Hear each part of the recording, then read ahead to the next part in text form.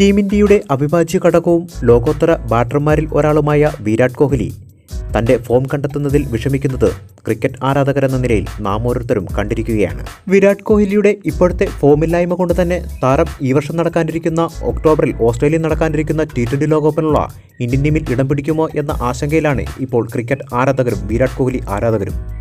ഇപ്പോഴത്തെ Indian super താരം വിരാട് കോഹ്ലി ക്രിക്കറ്റിൽ നിന്നും താൽക്കാലികമായി ഇടവേള എടുക്കുന്നു എന്ന വാർത്തയാണ് പുറത്തുവരുന്നത്.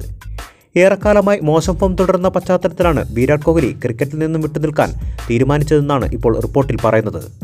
പ്രമുഖ ഇംഗ്ലീഷ് മാധ്യമമായ ടൈംസ് നൗ ആണ് ഇക്കാര്യം റിപ്പോർട്ട് ചെയ്തിരിക്കുന്നത്. ഇംഗ്ലണ്ടിനെതിരായ ഏകദിന പരമ്പര അവസാനിച്ചതിനു ശേഷം കോഹ്ലി ലണ്ടനിൽ തന്നെ തുടരുമെന്നും കുടുംബത്തോടൊപ്പം ഇംഗ്ലണ്ടിൽ ചെലവഴിക്കാനാണ് തീരുമാനിക്കുന്നതെന്നുമാണ് ഇപ്പോൾ പുറത്തുവരുന്നത്. മാതാവടക്കം കോഹ്ലിക്കൊപ്പം ഇംഗ്ലണ്ടിൽ ഉണ്ടാകുമെന്നും ടൈംസ് നൗ റിപ്പോർട്ട് ചെയ്യുന്നു. ഈ സമയം വിരാട് കോഹ്ലി പരിശീലനത്തിൽ നിന്നും പൂർണമായും വിട്ടുനിൽക്കും. അടുത്ത മാസം നടക്കുന്ന ഏഷ്യ കപ്പിലൂടെ ക്രിക്കറ്റിലേക്ക് തിരിച്ചു വരാനാണ് കോഹ്ലിയുടെ തീരുമാനം.